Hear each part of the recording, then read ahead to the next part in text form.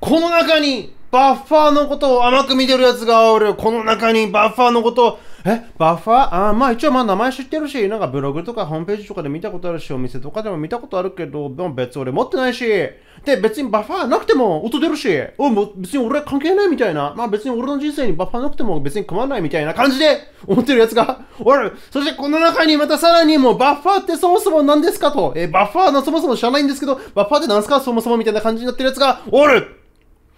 えー、例えば、例えばだ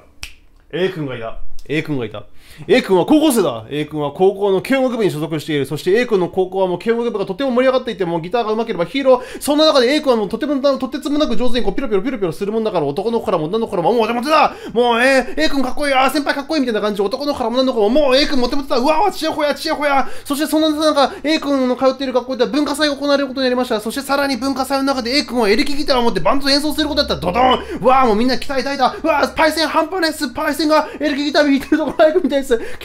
君がかっこいいところ早くうんたらかんたらだ。ワクテカワクテカ。期待値はどんどん上げ上げでマックスだ。激上げ激上げ上げ上げ上げ。上げそんな中 A 君が、えー、もりもり練習して文化祭当日を迎えました。そして A 君が当日でこんなセッティングを組みました。A 君が使っている自慢のギターはもう、えー、年末年始のあのあの郵便局の配達とかであの頑張って小遣いを食べて買った。ギブソン USA の、えー、レスポール LP ちょっとあのシェイプに関しては突っ込みどころはなしでお願いいたします。その LP からブルブルっと5メートルのケーブルでカナレのケーブルでわーっと行きまして3万円ぐらい頑張って小遣いを貯めて買ったブティック系の歪みやエフェクターだババババンめちゃめちゃ音するぜで、さらにそこから5メートルのケーブルで、カナレのケーブルで、と、業者さんから借りた JCM の900で、こう、バーン鳴らしました。で、文化祭当日を迎えて、A 君が、あたくさん練習してきたサムシングをバラバラと披露した。ザララとババババどうぞどうだ暗いババババ AB のドドドドドドところがどっこい。あれパイセン。なんか今日あんまり、あれなんかあんまかっこよくないな。あれ A, A 先輩、なんか今日あんまり迫力ないっていうか、なんか、ときめかないっていうか、なんかワクワクしないっていうか、あれ？みたいな感じで。A 君のライブは不思議と肩透かしの大失敗で終わってしまいました。何がいけなかったでしょう ?What's the problem? 何がいけないでしょう？何がいけないでしょう、uh, Question. Why did he fault? A. uh, He broke off with his girlfriend、uh, in that day A 君はその日失恋をしたから、まあこれは別にいいんですけど、えー、この図を見てなんか違和感がありますか？なんか違和感がありました。ギターがありまして、その5メートルのケーブルでこっちに来ました。で、そのあのハンドメイド系のそのブティック系でそのトゥルーバイパスでした。トゥルーバイパス。で、5メートルのケーブルでアンプに来ました。このね、図にね、違和感をね、感じなかった人はね、特に何が問題なのか分かんない人はね、この動画を見る価値があるので、あのぜひ見てほしい。もうこの動画は、これを見て何も思わないあなたのための動画でございます。ぜひ、えー、最後までご覧いただけると嬉しいです。で、最初に、その、この中にとか言ってなんかいろいろ言いましたけども、バッファのことをあまり詳しく知らずに、別になくてもいいんじゃねって感じで、その舐めてたのは、えー、何を隠そう？僕です。はい、僕です。すいません、僕です。えー、この動画を撮影しているのは2019年の12月13日になるんですけれども、一昨日くらいまで、あの別にバッファーなくてもいいかなって思ってました。すいません。えー、今、いろいろ調べたりとかテストしたりとかして、あのいろいろあの検証した結果ですね、あのバッファーね、あのなななきゃダメ、ダメあの。絶対必要、絶対必要、マジで。絶対必要。あの本当に必要。本当に必要です。えー、なぜ、なぜ必要なのか、えー、細かい話はまあね、さておき、とりあえず一回あの、聞いてください、音。百聞は一丁にしかずとはね、先人たちもいいこと言うよね。えー、ギターから、え5メートルの、えケーブルでそのエフェクターに行って、エフェクターから5メートルでアンプに行ってっていう、この状態を一回ちょっと作ってみましょう。画面ドンズババババーンとお手元の方を見せしながら、この状態をまず一回作ってみましょう。えー、飾りのケーブルこちらでございます。5メートルのケーブルでございます。これをギターにこうブスッと刺します。で、この状態で音を鳴らせば、ギターの信号がこのケーブルをぐるぐるっと回って、えー、何かしらのエフェクターに行きます。これあのダミーです。あの普通に置いてありますけども、単純にそのダミーとして置いてあります。トゥルーバイパスのエフェクターを置いてます。で、ここから5メートルのケーブルでぐるぐるぐるっといって、アンプに行きまして、えこれでその状況は完成です。エフェクターはこれオンにしてないんで、全然、あのー、置いてあるだけというか、繋いであるだけでございます。えー、全然音は加味してないんで。で、この状態で音を鳴らしてみましょう。ちょっと音を聞いてみてください、まずは。細かいこと抜きして。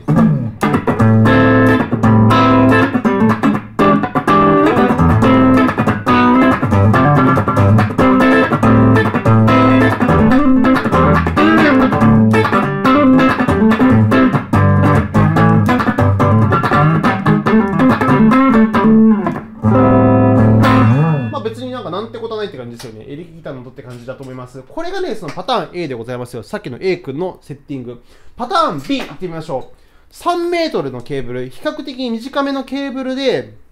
そのままアンプ直に行ってみます。ギターからアンプ直です。ギターからアンプ直に行ってみます。回路的には、その変わんないはずだから、音が変わっちゃダメなんですよ、ここで。音が変わっちゃダメなんです。ところがどっこい、どうでしょう？聞いてみましょう。 Let's try。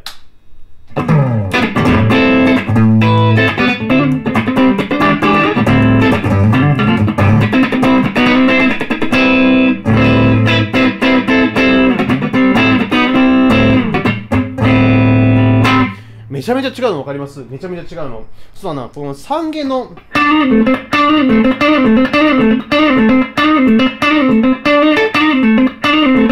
この、なんか、関わった感じっていうこのね、あの、すごい。この高音の抜ける感じ、ちょっとこれを覚えててください。この。こんな感じ。で、これを、さっきのパターン A、えー、A 君がやっていたセッティングに戻すと、つまりこの10、えーと、計10メートルのシールってことですね。計10メートルのシールで鳴らすと、どんな感じになるかというと、こういう音。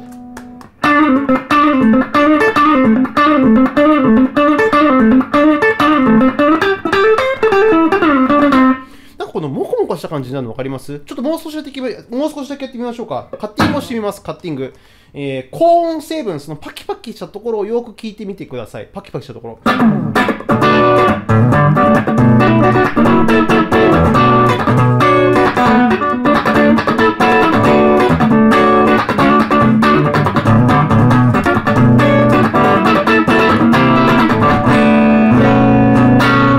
こんな感じの音です。まあ、これだけ聞けばね、そのまあエレキギターの音だなって感じはすると思うんですけれども、これをね、聞き比べてしまうとね、もう全然ちゃうんですよ。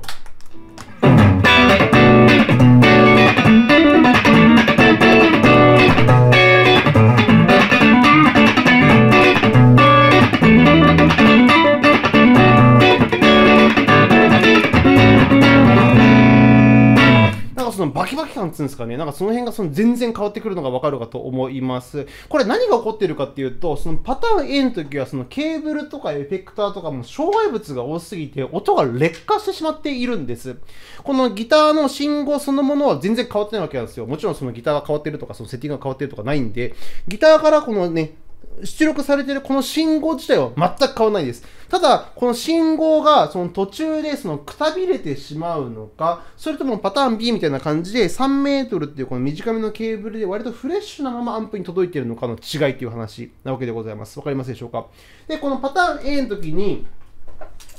今、その計10メートルのケーブルが使われております。で、10メートルのケーブルって割とさ、よく使うしさ、なんかこれ、このセッティングってなんかよくやってそうじゃないですか。もう現にその僕、高校生の頃とかさ、その20歳ちょっとの時とか全然こういうセッティングやってたんですけども、まあ10メートルぐらいは割と余裕で普通に使っちゃってました。でも10メートルでもね、もうこんぐらいのね、もう劣化はするんですよ。で、こっからさらにさ、そのエフェクターがね、2個3個とか、さらに3メートルのケーブルとか入ってたら、もう最悪っすよ。10メートル程度でこんだけ顕著に音がね、変わってくるんですからね。で、ここで、さあ、どうしたらええかって話になってくると、ペペンペペンペンペンペン、今回のこちら、えー、エフェクター、 Beyond Tube Buffer Plus の出番でございます。こちらをかますとびっくりすることに音が劣化しません。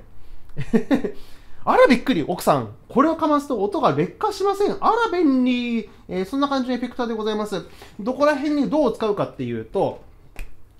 まあ、平たく言うと、このギターから出力して、まず真っ先にこのバッファーに入れるんです。まず真っ先に真っ先にバッファー入れるんです。真っ先、真っ先にバッファー入れるんです。真っ先にバッファー入れるんです。そうすると、このバッファーを一回通ると、ギターの信号がめちゃめちゃこうストロングになって劣化しなくなるんですよ。このバッファーの後ろ、えー、今10メートルですけれども、その10メートルであろうが、20メートルであろうが、30メートルであろうが、100メートルであろうが、もうエフェクトを何個かまそうが、全然劣化しないパワフルなギターの信号に生まれ変わるんです。こういうエフェクター。で、これをバッファーに行く前にもちろんここのところ、そのここのところでそのギターとバッファーの間に、それはまあたくさんケーブルかましたら、それ意味ないですよ。もう劣化した状態でバッファにかましたらもちろん意味ない。だけれども、できるだけフレッシュな状態でバッファに持っていくことができたらば、こっからもうフレッシュですよ。もうフレッシュ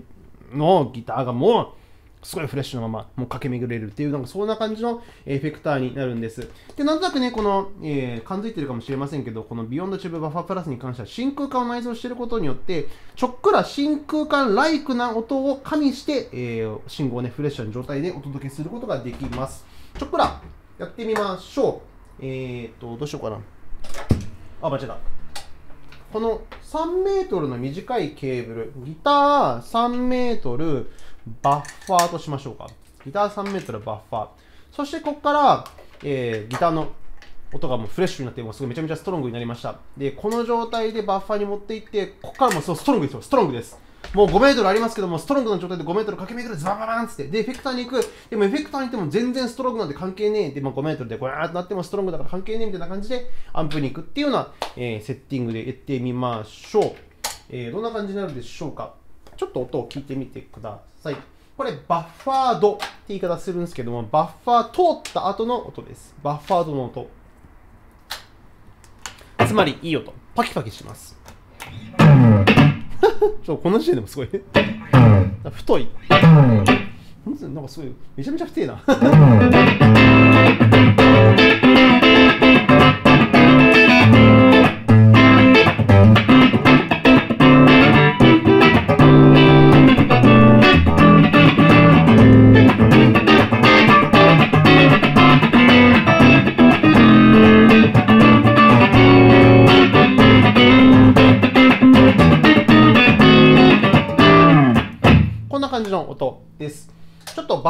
ーしてない音も聞いてみましょうか。こっちに挿すとね、そのバッファーしない音になるんです。ちょっとやってみましょう。バッファーしない時の音。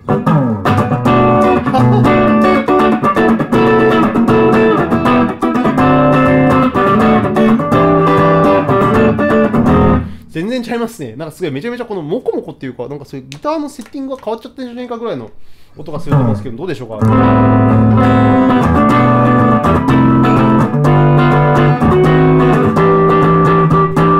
一応ケーブルの長さ的には全部でトータル13メートル経由してアンプに行ってるわけなんですけども、こんだけ劣化するわけなんですよ。すごいっすよね。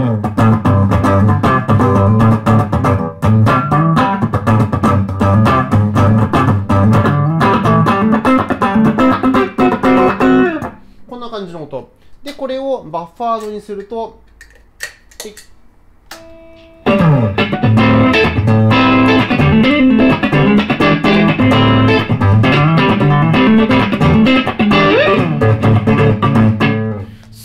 違いですよね。なんか、え、そんなにっていうぐらい。まあ一応このね、真空管ライクのとかにプラスされてるっていうのは、まあプラスアルファであるんですけれども、単純にさっきこのね、あのバッファードしてない音っていうのは、その、こんだけ劣化してるってことなんですよ。だからこの劣化してる音と、このちょっと真空管ライクのそのまま、そのままの音、プラス真空管ライクの音でちょっといい音になっちゃってるから、この落差が半端ねえって感じなんだけれども、えーこんな感じでバッファーの動き、えーその、ギター音をフレッシュな状態でそのアンプまで運ぶ効果プラス、えー真空管のライクの音も付け出せるというのが、えー機能になっております。で、この横のね、つまみ、これをこの向こう側にブブブッと持っていくと、若干この原因を稼ぐこともできまして、軽いブースター代わりとしても使うことができると。ち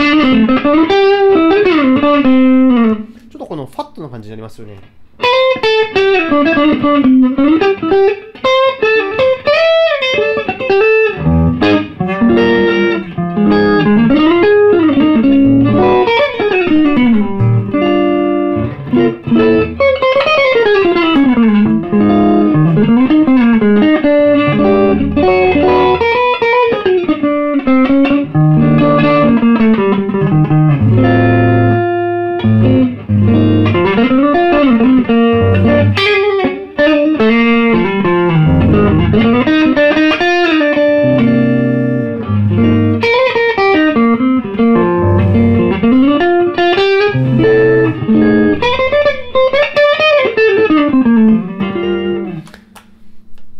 めちゃめちゃいい感じでございます。まあ、このね、原因の量に関してはそのお好みなんでね、そのちょっと太めで使いたければ向こう側に回せばいいし、できるだけその太くしたくない、音量を変えたくないときにはこっち側にすればいいしっていう感じでございます。で、基本的にこのバッファーに関してはもうそのつけっぱなしで使うもんなんで、あんまりこのオンオフすることはないでございます。もうこのバッファーをオンにしてフレッシュな状態で届け続けて、で、なおかつ、この後ろにいろんなエフェクターとかいろんなケーブルとかを経由して、あのま劣化がしないように届けるための、なんかこのポンプみたいな、えーなんかそんな感じのエフェクターです。で、これを今ギターでやってましたけれども、えーベースに関しても結構ね、分かりやすくて、ちょっとどうしようかな。バッファードされてない方やってみましょうか。バッファードされてない方。このチューナーアウトってとこなんですけど、これから行くと、バッファードされてないです。このね、プルって言い方するんだけど、この、この人差し指でこの、張った時のこの抜けが全然違います。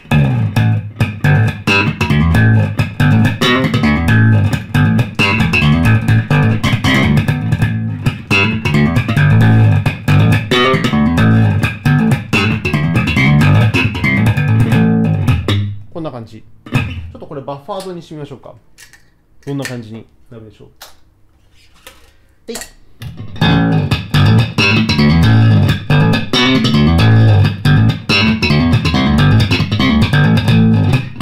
全然ちゃいますね。なんか音のギラギラ感みたいなのも全然違うかと思います。他にもそのちょっとこのギラギラしたフレーズを弾いてみると、あー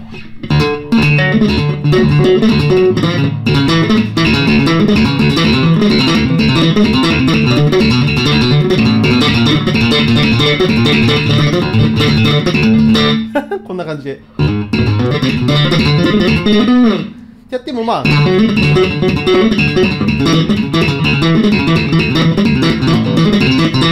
あ、こんな感じだったんですけども、これね、バッファードじゃない方にするとね、すごい変わると思いますよ。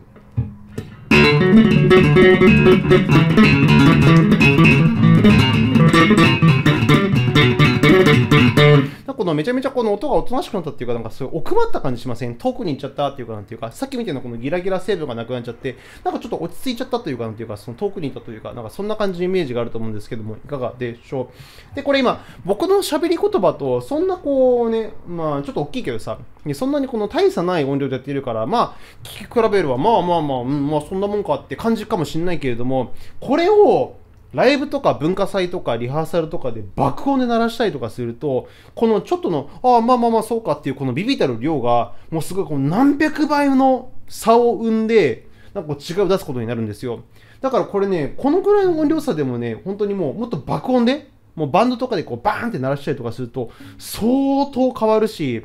この、ああ、そうかそうかっていうレベルじゃなくて、もう迫力が違うっていうか、もう全然その音圧が違うし、もう音質違うし、なんかこう単純にその聞いた時に、うわ、かっけーっていう感じの痺れる音なのかどうかっていうレベルまで変わってくるところだと思います。ピックベイキでもすげえんですよ。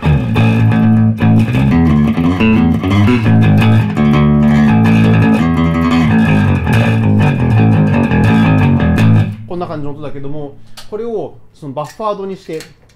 いていくと、すごいもう、めちゃめちゃこのギラギラした感じ。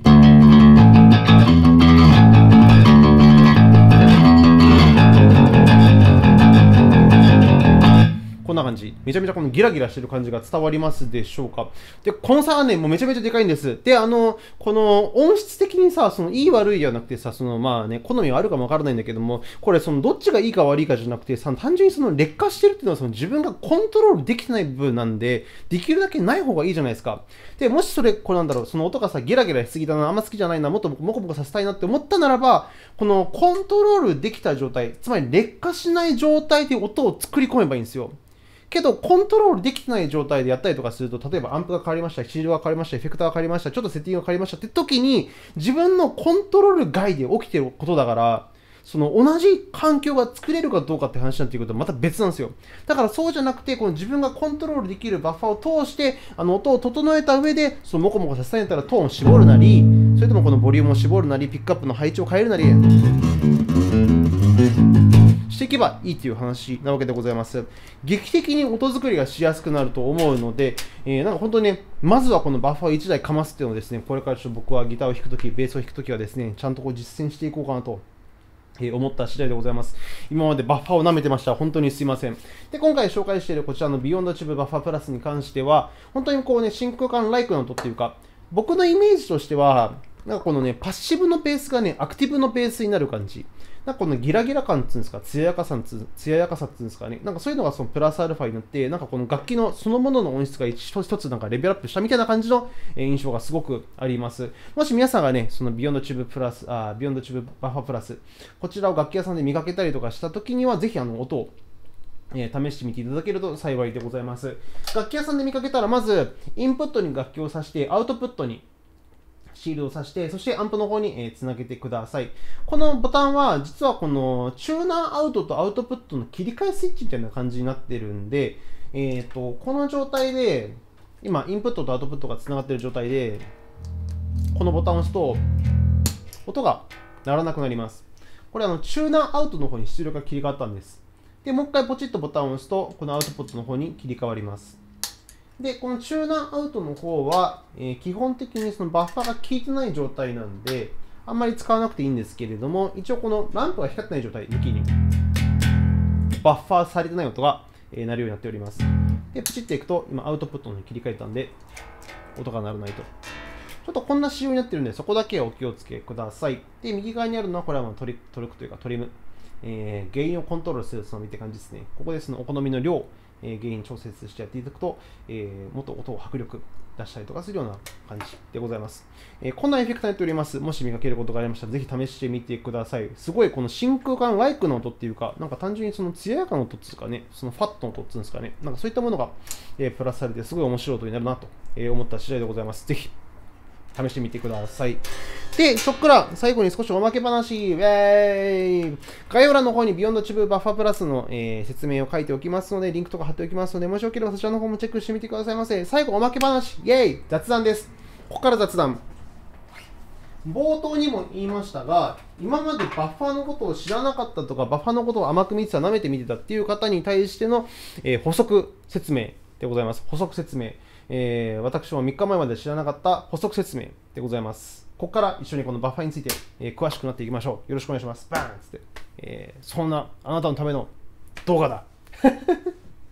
さっきも言ったんだけれども、そのギターの音をフレッシュな状態でアンプに届けるためのエフェクターっていう感じです。バッファー。その、ポイントとしては、ポイントとしては、やべ、マジこれだ。ポイントとしては、このギターから、このこのジャックのところから、これバーっとこう発されているその電気信号っていうのは基本的にはもう変わんないわけなんですよ。別にこれがそのね、あの太くなったりとかね、細くなったりとかするわけじゃなくて、これそのものはやっぱ変わんないわけなんです。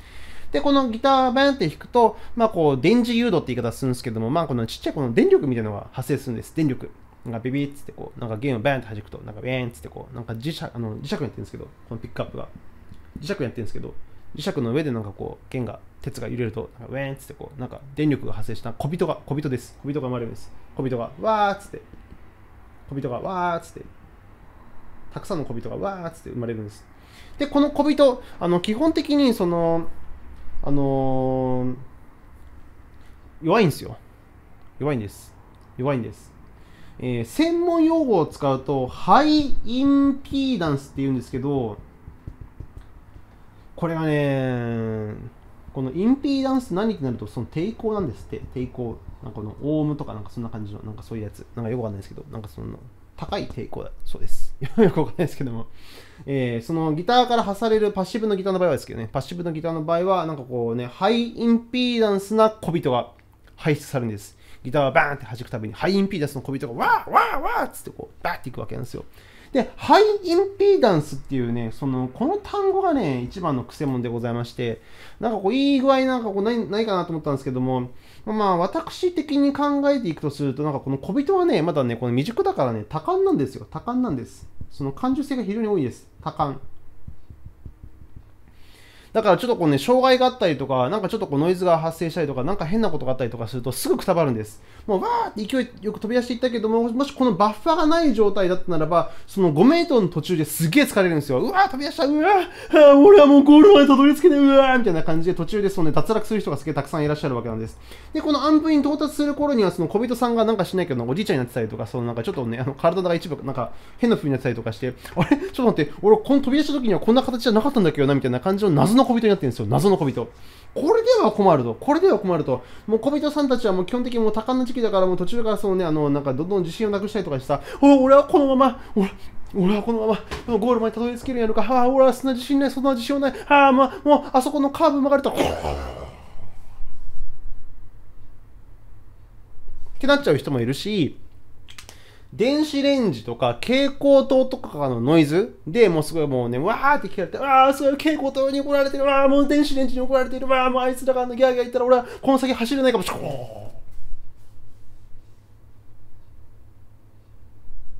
って感じになるその小人さんがたくさん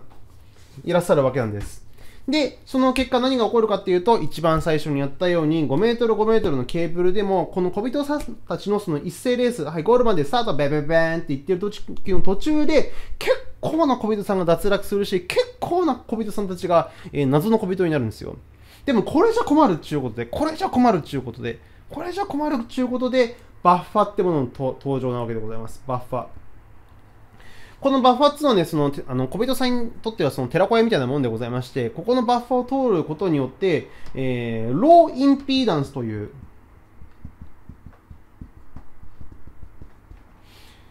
えー、鈍感というか、自分を信じてやまない真のしっかりした子に育つことができます。この寺子屋でその根性を叩き直すわけですよ。そうすると、ローインピーダンスというですね、感度が、まあ、決してあの別に低いわけじゃないんだけれども、なんかその自分自身を持ってるから何言われても大丈夫だし、もうどんな曲がり込め組めたこの小人で、あ道でもそのね、うらうらうらってもうね、そのままババババって、もう超馬力でその乗り越える、障害を乗り越える実力、タフ、えー、スタミナを持つことができるんです。で、このバッファーを通った後ならば、もう小人さんたちは超ストロングな状態なんで、もうすごい何言われても関係ないみたいな感じで、はあ、あいつになんかブサイクと言われた、はあ、別に関係ないし、みたいな感じで、ああいつになんか下手くそって言われた、はあ、別に関係ないし、みたいな感じで、もうどんどんこのね、もう小人さんがそのね、あの道行く道をですね、そのどんどん突き進むことができるんですよ。これがそのローインピーダンスってやつなんですけども、感度が低いというか、なんていうか、だからそんな感じの意味、僕の中のイメージでございます。ローインピーダンスになると、もう小人さんたちは自分の芯をましっかり持つことによって、もうゴールまで疑うことなく、迷うことなく突き進むことができると。うわーっつって、うわーっつって、アンプに行くと、うわーっつって。で、このアンプにこう、わーっと小人さんたちの軍団がそのまま元気な突っ込むからも元気な音がバーンってなるっていう、なんかそんな感じの、えー、あれでございます。もうね、例えば蛍光と電子レンジとかこう電波飛ばしてきても、はい、別にその効かないで、シュシュシュシュシュみたいな感じで小人さんたちがどんどんどんどん進んでいくわけですよ。えー、そんなイメージ。言葉としては、ハイインピーダンス、ローインピーダンスなんていう言い方をするんですが、まあ、ぶっちゃけ僕よくわかよくわかんないよくわかんないんでえー、よく分かったんで、なんかそんな感じのイメージでございます。とにかくバッファー通すと小人が元気になると。えー、そんな感じ。でも小人が元気になるっつっても、元の小人のその実力は変わってないわけなんですよ。元の小人の実力自体は変わってないんです。その音が太くなるとか、速くなるとか、なんかこの高音が強くなるとか、そういったことはないんです。小人は小人。なんだけども、この後にこの突き進むこのね、達成力がですね、自信をつけることに、このあのメンタルですよ、メンタル。まあ、なんか信仰宗教じゃないけど、ここに行くと、そのなんか自己啓発に、あの、なんか、最高ですあ、なんか、それはちょっとまずいか。なんかそんな感じの、えー、なんかいろいろこう、わーってなって、その小人さんたちがですね、もう信じてやめなくなるっていう、そんな感じのあれでございます。そうすると、バーッって、ローインピーダンスで、ザッってこう、いけることができると。いうような感じの、えー、バッファーというエフェクターの役割でございました。で、バッファーのエフェクターはね、そのもちろん世の中にたくさんあるからさ、あのー、他のものでも代用できるじゃできるんですし、あと、ボス製品に関してはね、基本的にそのバッファーの効果を持ってるらしいんで、全部のエフェクターが、ボスの製品全部にもバッファーの効果を持ってるんで、えー、そういうのでもあの代用することができるんですけども、今回紹介しているこの Beyond Chip Buffer Plus に関しては、この真空管を積んでることによって、またちょっとね、ちょっとえー、そのボス製品とか他の製品のバッファーとかで比べると、またちょっと面白い音作りができると、えー、いう感じなんで、そうですね、このバッファーがその寺子屋から、そうですね、ちょっとこの、あの、なんか、ちょっとギブ、なんか養成所みたいな感じだった感じかな。その小人がちょっとこの気気持ち、でかくなって旅立っていくみたいな。えー、ちっちゃい小人が中人になっちゃうみたいな感じの、なんかそんな感じのイメージでございます。すごく面白いエフェクトだと思うんで、えー、ぜひ触れる機会がありましたら試してみてくださいませ。そんな感じで終わりにいたしましょう。えー、今日の話はバッファーとは何かというところからスタートして、 Beyond Tube Buffer Plus の、えー、ご紹介でございました。なんかね、あのー細かいことをなんか突っ込んでいくとさ、まあ、本当はこれだけじゃ説明できないこともたくさんあるんだけれども、もし興味があれば、えー、それぞれおのおの調べてみてください。バッファーって何とか、バッファーとはとか、なんかそのバッファーインピーダンスとかで調べれば、まあ、そういう詳しい記事がたくさん出てくるので、もし興味があれば、その辺も調べてみてくださいませ。えー、そんな感じです。覚えておきたいこととしては、ハイインピーダンスってものが出力されて、寺子屋を通ると、ローインピーダンスというものになって、えー、アンプの方に到達すると。えー、ハイインピーダンスは小人さんたちは高なんですよ。高なんです。あそこの角曲がれるかな？つって、あそこのケーブル渡れるかな？つって、この先僕大丈夫かな？ゴールまで行けるかな？途中までうまくいけるか、そうか、って感じになるという、えー、そんな、え、イメージで見ていただけると幸いです。はい。では、そんな感じで終わりにしましょう。えー、いろいろと商品の詳しい概要とかですね、あの下の欄の方をチェックしてみてくださいませ。それではまた違う動画でお会いいたしましょう。さよなら、パハハイ。長い、長えな、今回も。えー、長い間ありがとうございました。じゃあね、パハハイ、さよなら。